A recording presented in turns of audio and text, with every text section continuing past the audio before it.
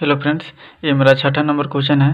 Question में कहता है, किसी एपी के प्रथम और अंतिम पद क्रमशः सत्रह और तीन सौ पचास है। यदि सार्व अंतर नौ है तो इसमें कितने पद है और इनका योग क्या है? यानी कि कितने पद, यानी कि हमको नंबर पूछता है एन और इनका योग, यानी कि एस एन क्या है? तो इन सवाल को हम हल करते हैं यहाँ पे।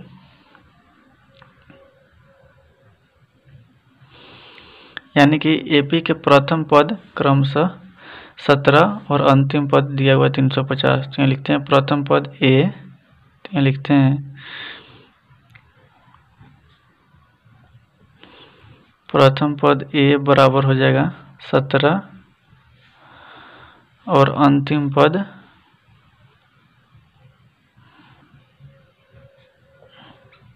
अंतिम पद दिया हुआ ए एन एन है तीन से पचास। और सार्व अंतर दिया हुआ है नौ।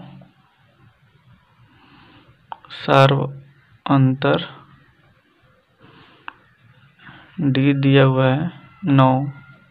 तो इसमें कितने पद है? हमको एन निकलना है, एन। और ए से निकलना है, योग।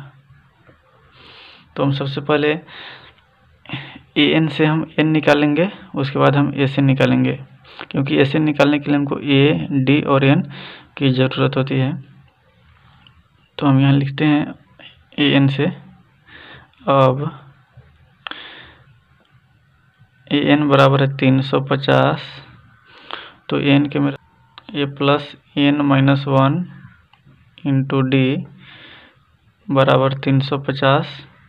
तो ए का मान है मेरा सत्रह तो यहाँ लिखते हैं सत्रह प्लस एन पता करना है माइनस वन इंटू डी का मान है नौ, बराबर तीन सौ पचास। तो यहाँ लिखते हैं एन माइनस वन इंटू में नौ, ये तीन सौ पचास। सत्रह इधर प्लस में तो इधर आएगा तो माइनस में सत्रह होगा। तो एन माइनस वन बराबर। ये घटेगा दस में से सात घटेगा तीन और चार में से घटेगा तीन और यहाँ तीन तीन सौ तैंतीस हो गया। इसलिए लिखते हैं एन माइनस वन बराबर तीन सौ तैंतीस। नौ इधर गुना में तो इधर है तो भाग में। तो इसको हम काटते हैं। नौ से, नौ नौ तीस सत्ताईस, छः तैंतीस तो छः पर तीन तिरसठ, नौ सत तिरसठ, यानी कि सैंतीस। तो एन माइनस वन बराबर हो जाएगा सैंतीस। तो एन बराबर हो जाएगा सैंतीस। वन इधर माइनस में तो बराबर की इधर प्लस में होगा तो सैंतीस एक अड़तीस। यानी कि एन हमको पता हो गया, अड़तीस। अब हम ऐसे निकालेंगे। तो हम ऐसे निकालते हैं। अब एस एन बराबर। तो एस एन बराबर होता है एन बाई टू दूसरा फॉर्मूला लागू करते हैं। A plus A N. तो मेरा एन है अड़तीस अभी निकला है N by two into A का मान है सत्रह प्लस ए एन दिया हुआ है तीन सौ पचास। दो से कटेगा अड़तीस, उन्नीस से।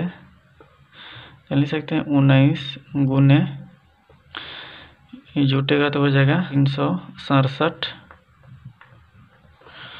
तो गुना करने पर हो जाएगा उनहत्तर सौ तिहत्तर। ये, ये मेरा आंसर एस एन का निकल कर आ गया। तो दोस्तों ये रहा मेरा छठा नंबर क्वेश्चन छठा नंबर क्वेश्चन है।